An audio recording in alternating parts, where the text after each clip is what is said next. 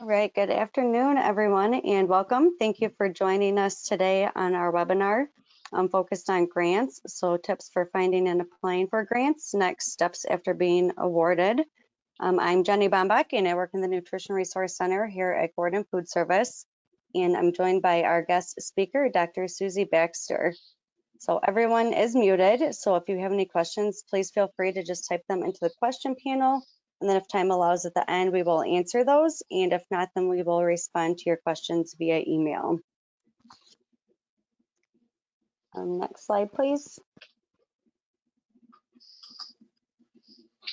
So I'll just start by introducing Dr. Baxter to you, then she'll present on finding grant resources available to you, best practices when writing, and then next steps after being awarded a grant.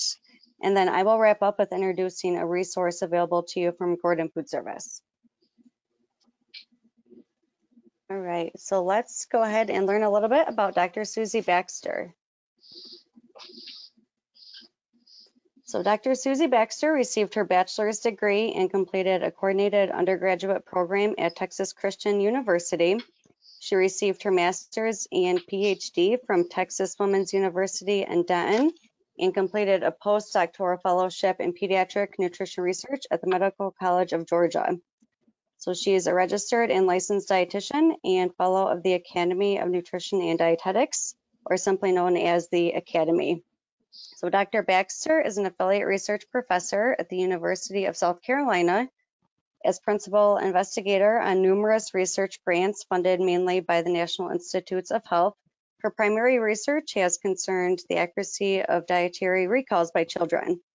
So she's authored 90 peer-reviewed articles, five chapters, 179 poster or podium presentations, and 84 invited presentations. So Dr. Baxter had to resign her research professor position in late 2016 due to an acquired disability. So she's an active Academy member, and Dr. Baxter's service includes the South Carolina affiliate as past president, past foundation liaison, and current diversity liaison. Um, the Academy's Cultures of Gender and Age Member Interest Group as current membership chair, uh, the Academy's Research Dietetic Practice Group as past treasurer, past diversity liaison, and current mentor. Um, the Academy as a current member of the Board of Editors for the Journal of the Academy of Nutrition and Dietetics, and member of the 2017-2019 Diversity Leaders Program. And the Academy Foundation is a current member of the Philanthropy Council, past member and chair of the Scholarship Committee, and past chair of the task force to create the Amy Joy Memorial Research Award. So Dr. Baxter's honors include the 2012 South Carolina Outstanding Dietitian of the Year, 2016 Research Dietetic Practice Group First Author Publication Award, and 2017 Monsen Award for Outstanding Research Literature. So we're very honored and fortunate to have Dr. Baxter with us today to share her knowledge and experience on grants. So I will now go ahead and turn it over to you, Dr. Baxter. Thank you, Jenny.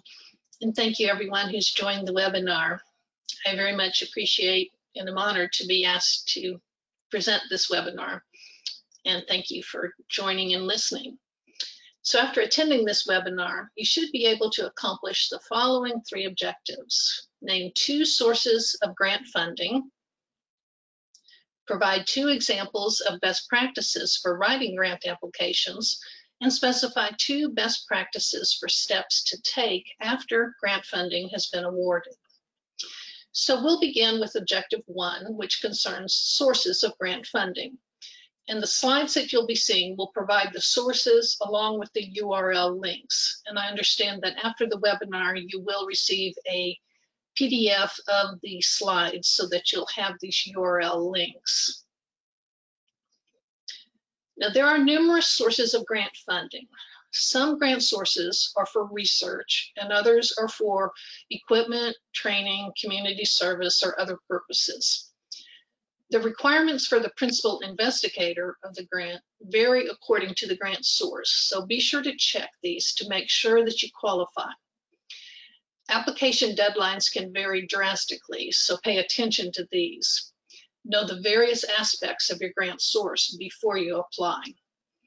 The U.S. Department of Agriculture Food and Nutrition Service is a grant source primarily for equipment assistance, training, and things such as team nutrition.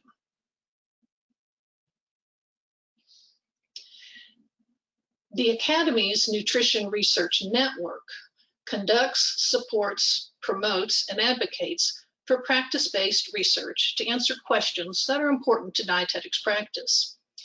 Network members are registered dietitians, nutritionists who work in a variety of practice settings and specialties, and they include practitioners, researchers, and students.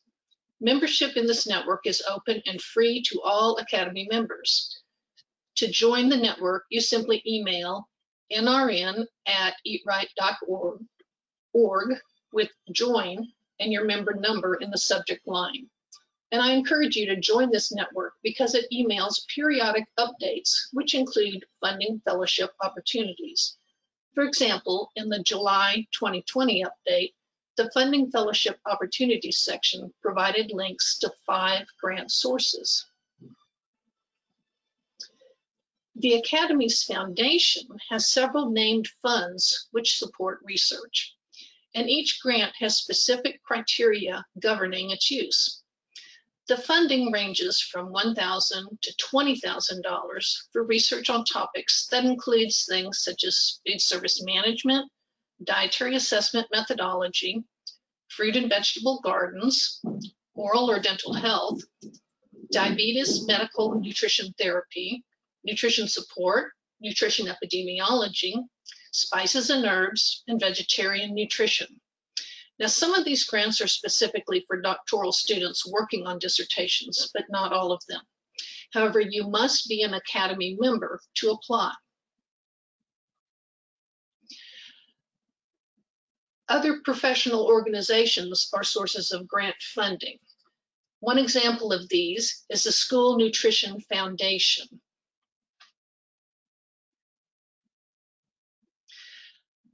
Proposal Central Grant Database provides an alphabetical list of professional organizations and foundations which fund grants. The National Institutes of Health, or NIH, probably funds the most research grants. It usually requires that the principal investigator have a doctoral degree in the specific area that the grant concerns. The NIH has several types of funding opportunity announcements or FOAs.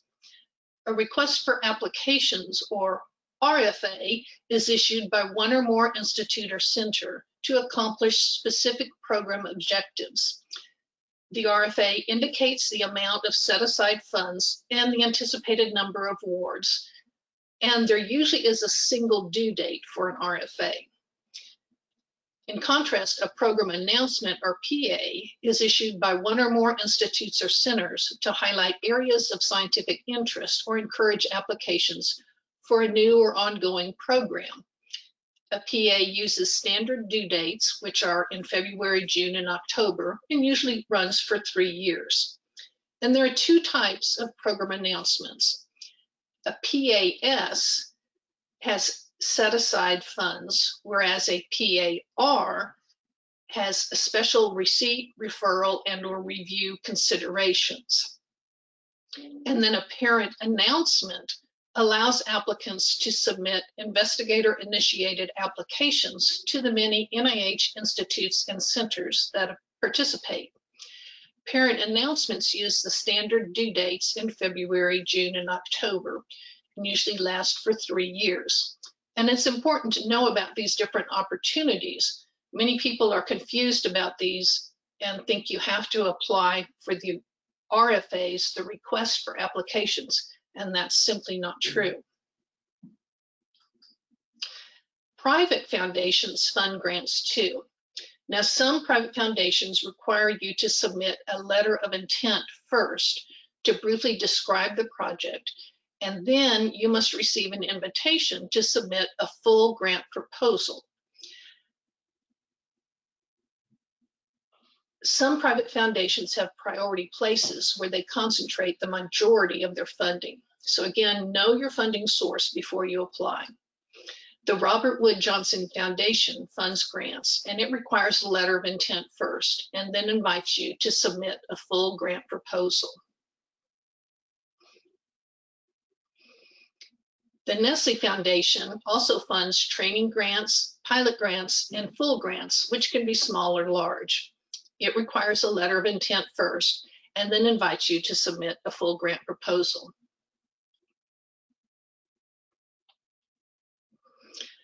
The Kellogg Foundation also funds grants. These grants concern children.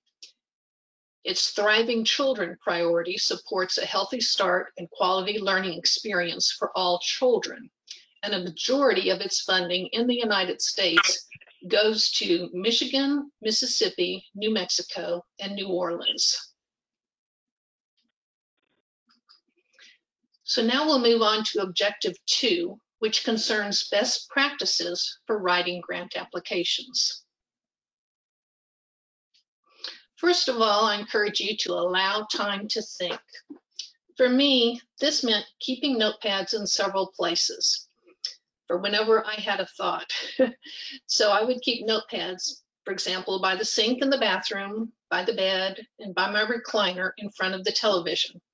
Because this is where I often had ideas for revisions, additions, or deletions. For example, when I was washing my face, brushing my teeth, taking a shower, trying to sleep, or when trying to relax while watching television. I could quickly write a note on the pad to remind myself about the change the next time I was at my computer so that I wouldn't forget it.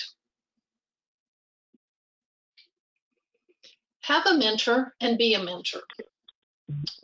Whether you're early in your career, late in your career, or somewhere in between, you'll always have benefits by having a mentor and by being a mentor to talk with about your ideas, your successes, your brick walls, etc.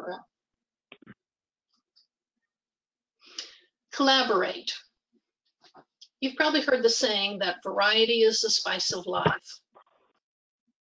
Well, collaboration is, is a necessary spice for your research project. Collaborate with experts in other fields for projects that combine topics, topics for which you lack a formal degree. The National Institutes of Health usually wants not only the principal investigator to have a doctoral degree, but each co-investigator to have a doctoral degree too. For example, if your research project concerns child nutrition and physical activity at school, an application to NIH would usually require a principal investigator with a doctoral degree in nutrition or dietetics, a co-investigator with a doctoral degree in physical activity or exercise, and a co-investigator with a doctoral degree in statistics. As Jenny mentioned, my primary research concerns the accuracy of children's self-reports of diet. So I collaborated primarily with a cognitive psychologist who had expertise concerning memory and with a statistician. 604 802. Um, Every, if everyone will make sure that they're on mute, please. I'm hearing somebody talking. Okay, thank you. And another best practice for writing grants is to be sure to include quality control. Quality control is especially important when you have multiple people who are collecting your data and or when your data collection occurs over long periods of days or months. That's because you need to make sure that your data are collected in the same manner, irrespective of who collected the data, and regardless of whether the data were collected on day five of year one or on day 155 of year three. Another best practice is to build in time for the unexpected. This concerns your timeline as well as your staffing. You may have inclement weather close your office enter the locations where you collect data, and thus temporarily halt your project. Or your staff may be unavailable to work for short periods of time or extended periods of time due to maternity leave, jury duty, death in the family, and or medical tragedies. Over my 25 plus years as principal investigator, supervising research teams, I've experienced all of these and some of them multiple times. And they were all, for the most part, unexpected. Maternity leave, you you can expect a little bit, but not always, because sometimes suddenly they're put on extended bed rest and you knew that they were going to have extended maternity leave coming up, but you know, if they were put on bed rest all of a sudden in month five of their pregnancy, that was unexpected.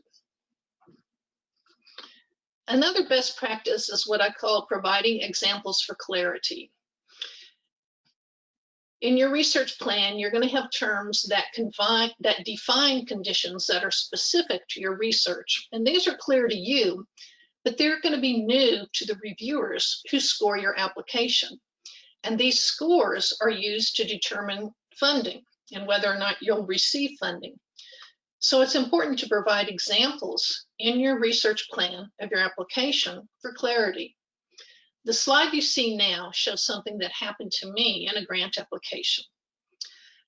The objective for the study was to determine whether school meals and 24-hour recalls provided by fourth grade children were more accurate when the recalls concerned the prior 24 hours instead of the previous day and when the time of the interview to obtain the 24 hour recall was earlier rather than later of the day. Now, the first submission of the application was not funded. The reviewers were confused by the objective. And their comment was that, well, a 24 hour recall is a 24 hour recall. So, what does it matter whether it's the prior 24 hours or the previous day?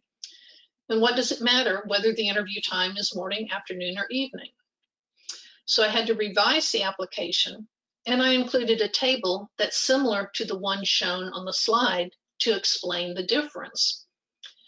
And then the reviewers understood what the difference was. And several grants after this that concerned the accuracy of children's dietary recalls and included a similar table to this one were funded. And I can tell you that to this day, this was the biggest hitter that I had for what impacts the accuracy of children's dietary recalls was when the target period concerns the prior 24 hours rather than the previous day.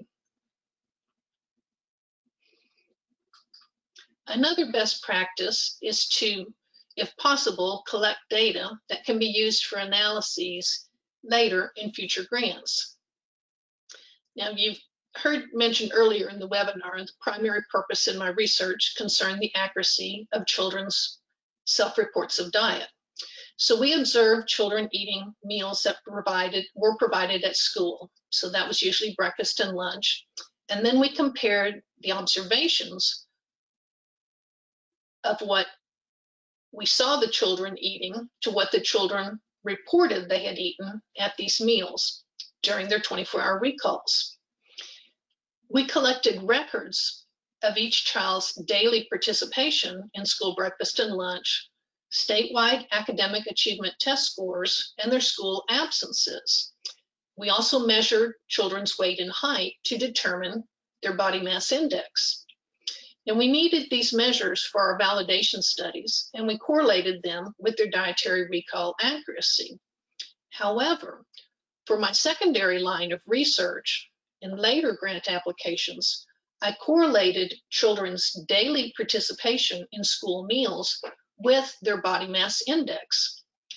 This was novel and more accurate, accurate because past research had relied on parents or children's reports of children's participation in school meals, usually in terms of replies simply of yes, no, or usually. Another best practice for writing grants is to obtain pre-submission review. Now this is very helpful because it can help identify weaknesses you need to correct before you submit to the funding source. It's best to have a pre-submission review that's conducted by someone who's familiar with the general subject and who has past experience by serving on a review panel for a funding source. However, it's important to never discuss a grant application with a reviewer who is currently serving on a review panel for a funding source to which you will submit an application. This is strictly forbidden by the National Institutes of Health. Now keep in mind that often you will need to pay a fee of about $300 for this review, but often your institute has funds set aside for this specific purpose. Now, of course, in order to have a pre-submission review and to make the changes that are needed that are identified this by this review, you need to have your research plan ready about one or two months before the submission deadline. So you need to be organized to do this, but I do strongly encourage it because it is very helpful. And I have served on numerous grant review panels as both a regular member and as an ad hoc member in the past. And so I'm happy to serve as a pre-submission reviewer for you and or to help you identify a reviewer if the topic of your grant application is something outside of my areas of expertise.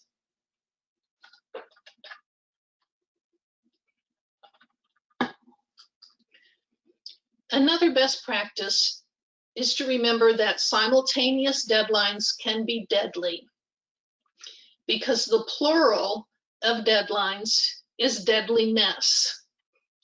You add an extra S to the end of, end of deadlines and you get deadliness. This here's a true story.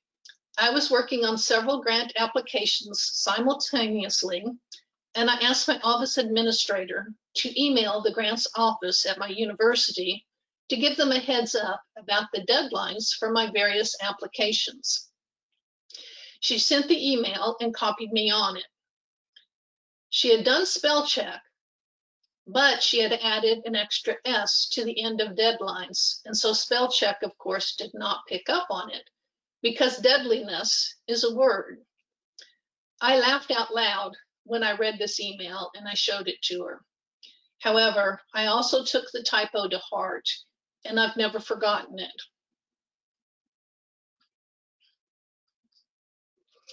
Another best practice is that to get funded, you need to submit, revise, and resubmit and keep trying. If you don't submit, you're not going to get funded. You may have a great idea for a grant, but it also may need several submissions and revisions to actually get that idea funded. Now, some of your grant sources will provide comments by the reviewers, but some do not. For example, National Institutes of Health, the reviewers do provide comments, but usually foundations, the reviewers do not provide comments. Um, when you do get the comments, try not to take the comments personally. Instead, and always be as responsive as possible to the comments in your revisions.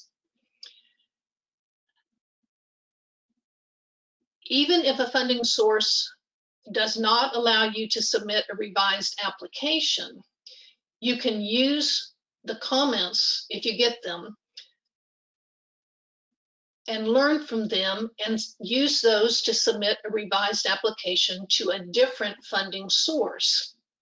So in other words, if you think your research idea is a good one and worth funding, then keep working on it, keep improving it, keep revising it, and keep resubmitting it to another funding source.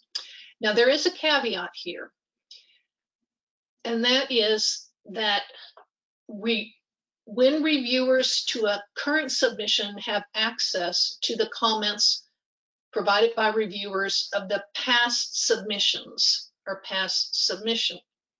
And that's the case with NIH. So that means that you need to decide whether you can provide adequate evidence or rationale to overcome a past negative comment to proceed with it in a revised submission. Because the reviewers of your revised submission are going to see those past comments. So if a past negative comment to an application at NIH, if that if a past negative comment is so negative that it's going to sink your boat, and no amount of evidence or rationale in a, rise, in a revised submission is going to overcome it, then it's best to what I call just ditch that application and begin again. You want to what what we call you want to lose that review. You don't want the current reviewers of your app of your new application to see that review and see that negative comment. Now that does not mean that you're going to forget your whole idea. Instead, it means you select a new title for your application and you revise at least one of your objectives and your sample size enough that your research plan is different than your previous one. And I have experience doing this too. And so I'm happy to help you with it too, if needed. So you see, there, there can be several, there can be a fine art to submitting grant applications and getting funded, especially when it comes to NIH, when you're allowed to, re, to revise and resubmit. But you can get funded, and I'm, I'm an example of this. I've submitted many, many, many grant applications, and many of them were revisions. And you, you can get funded, but you have to keep trying. And another best practice is enjoy the journey. Submitting grants, submitting grants is time consuming and it can be stressful if you let it be stressful. But you can also enjoy it if you allow yourself to enjoy it, to take the time and enjoy the journey.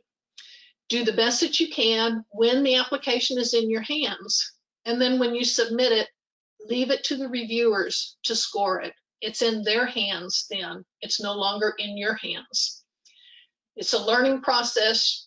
You learn from it. You do the best that you can when you can, and then you allow the reviewers to do the rest. So now we'll move on to objective three, which concerns best practices for steps to take after grant funding has been awarded.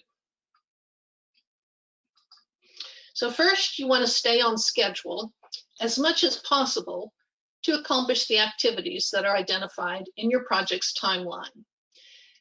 Most funding sources require some type of progress report. So you want to know whether your funding source does, and if so, you want to identify when those progress reports are due, and you want to accomplish your activities so that you can report appropriate progress whether it's data collection or manuscript writing or whatever it is. Another step is to hire and manage the best teams possible for the specific project. Now, some funding sources allow you to actually begin your project one to three months before the funding begins. And this can be especially helpful when you need to hire new staff for a project. So you want to know your funding source and discuss this with your institution. Each funding source has its own timeline between when applications are due, when the review panel meets to score applications, when you are notified about the score, and or when you are notified about a funding decision. For example, with NIH, which is an institution that allows the funding to begin allows you to begin your project one to three months before the funding begins. The standing deadlines are February, June, and October. The, the review panels typically meet four or five months after those applications are due and they score the applications. And you can find out your score on the website within a few days of those meetings. And then the council meets a month after the review panels have met. And it's the council who decides whether your application will be funded or not. It's not the review panel. The review panel scores your application but the council decides whether your application will be funded. It looks at the scores and it uses all these other decisions that it has, you know, that the institutes have, and the council decides which applications will be funded. So in other words, if you submit, for example, an application to NIH in February, it's reviewed and scored in June or July. The council meets in August to make a funding decision in August. And then the earliest you can begin the project is September. Now the timeline, so that's that's basically a nine month timeline. You've submitted the application in February, and the earliest you can begin the project is September. Seven month timeline. It's almost like having a, a baby, an early baby. The timeline is usually much faster with foundations. And another step is if your research study involves humans, you and your staff must abide by all human policies. On the other hand, if your study involves animals, you and your staff must abide by all animal policies. These policies are crucial to research. And so if you or your staff make a mistake that goes against one of these policies, you must immediately contact the office at your institution for guidance about what to do. Never try to cover it up because that just makes it worse.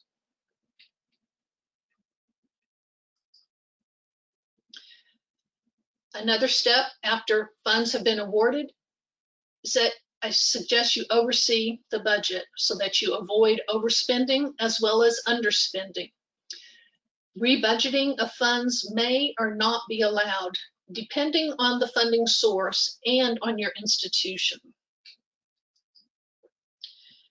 You want to be sure to acknowledge the funding mechanism and the funder in your presentations and publications.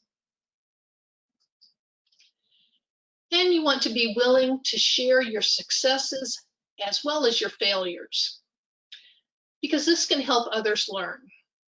For example, I've learned that the best way to conduct quality control for 24-hour recall interviews is to audio record each one. This allows any interview to be randomly selected and checked for adherence to the protocol. In contrast, many studies identified specific 24-hour recalls to be checked for adherence to the protocol before the recalls are conducted, and then audio record only those specific interviews. Or they may have a supervisor sit in on those randomly selected interviews.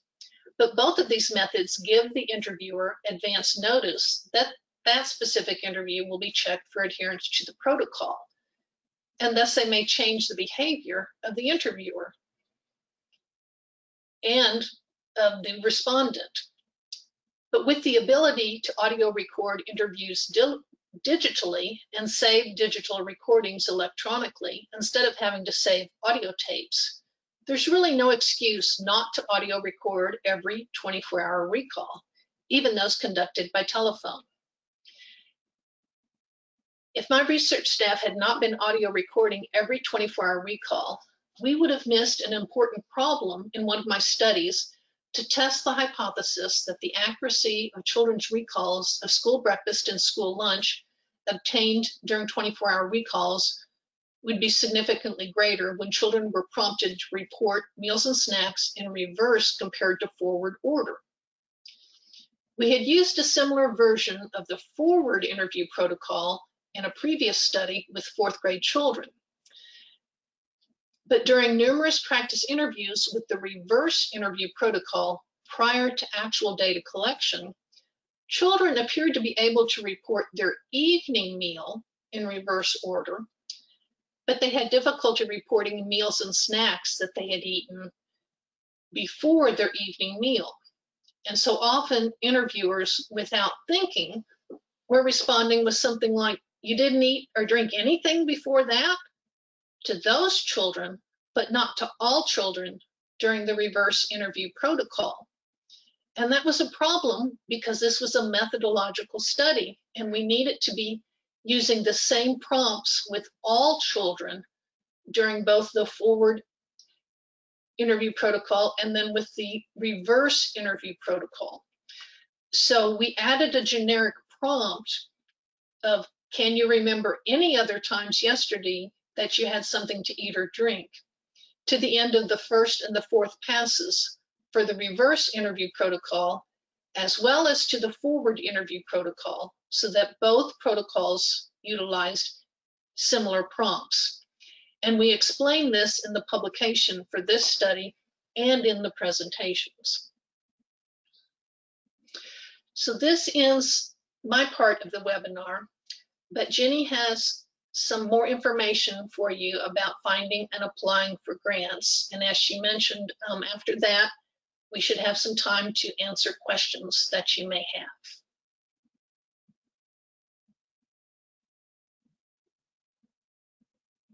All right, well, thank you very, very much, Dr. Baxter, for sharing all of your knowledge and your tips and especially all of your personal experiences with us. Um, this has been some very helpful and useful information to hear from you um, when applying for grants, and I know that everyone can benefit from that.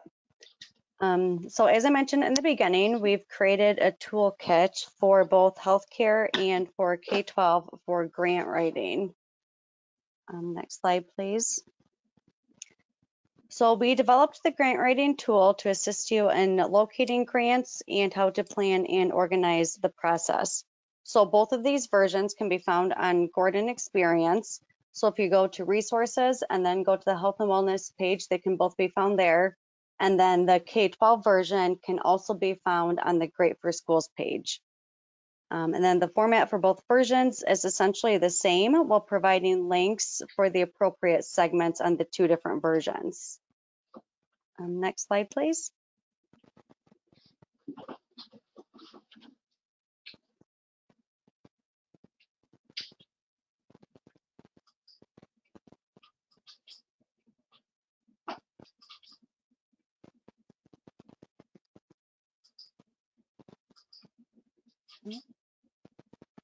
Maybe just try hitting the space bar.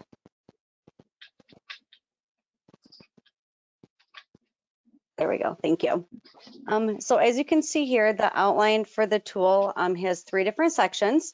So there's a section for applying for grants, um, for tips, and for additional resources.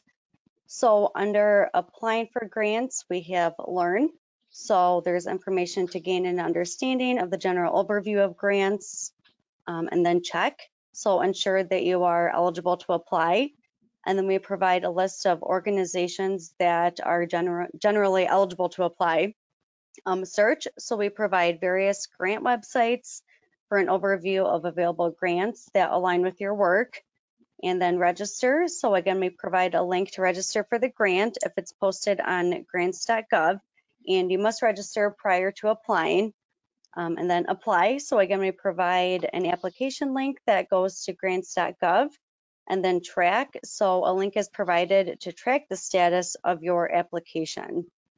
Um, and then under the tip section, some general tips that are provided um, include obtain and include a data universal number system number or DUNS. Um, make it easy for peer reviewers to evaluate the proposal. So some things that you can do um, include aligning your application narrative with the selection criteria um, be sure that you're clear, concise, specific, and explain any uh, missing information. So by that, we mean if they're requiring any specific statistics, maybe if you don't have that available yet, just explain why that's not included in your application. Um, provide accurate and honest information. Um, make certain that the thought process in all parts of the application are uniform um, and justify the funding request and just making sure that all that the required material is included. And there's a few more tips under there as well. So then under additional resources, we just provide links to additional resources such as grants.gov and grant lifecycle management sites and systems. So I do apologize, this is kind of blurry to see, but like I said, these are both available on Gordon Experience, so you can go there at any time to find um, either the healthcare or the education version. All right, next slide, please. Okay, so that is the end. So let me just take a look real quick and see which questions have come in throughout the webinar. Okay, so this one um, is directed for you, Dr. Baxter, and this says, are you able to submit the application to multiple sources? And if so, and both are awarded, can you accept funding from both? Ah, that is that is an excellent question.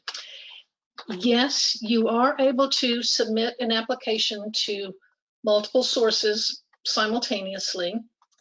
However, you are not allowed to accept funding for the same grant simultaneously. If you are fortunate enough to have the same grant funded by more than one source, you have to report it to both sources. And this actually happened to me one time. And then what you have to do is talk with both of them and with uh, hopefully one of them will allow you to change the objectives, you know, to keep the funding, but to tweak the objectives. And so then you can still keep the funding, but slightly alter the objectives. And so I actually did this um, when I submitted the same grant to USDA and to NIH. And um, we were going to look at what we had submitted was to look at um, sources of intrusions. So, excuse me, what we submitted was to look at examining dietary recall accuracy for energy and macronutrients using both conventional variables and reporting error sensitive variables. We submitted that to both USDA and NIH, and both of them funded it. So I went to NIH and they said, well, can you give us some other, another set of objectives that would be, you know, similar? And so what we submitted to them was to look at um, research to examine the sources or the in, origins of intrusions, the phantom foods or falsely reported items in children's dietary recalls. So both of these were secondary analyses using the data that we had collected previously um, from fourth graders in several studies where we used observations of school breakfast and school lunch and then the children's dietary recalls and um, but we were able to keep the funding from both of them. Um, so that that is an excellent question. So yes, you can submit to multiple sources, but you are not allowed to receive funding for the same grant from multiple sources. Okay, great. Thank you so much for providing that detailed response to that question. Um, so that wraps up our webinar for today. Thank you so much again for joining us and a big thank you again to you, Dr. Baxter, for sharing your wealth of knowledge with everybody. Um, have a great rest of your afternoon. Thank you.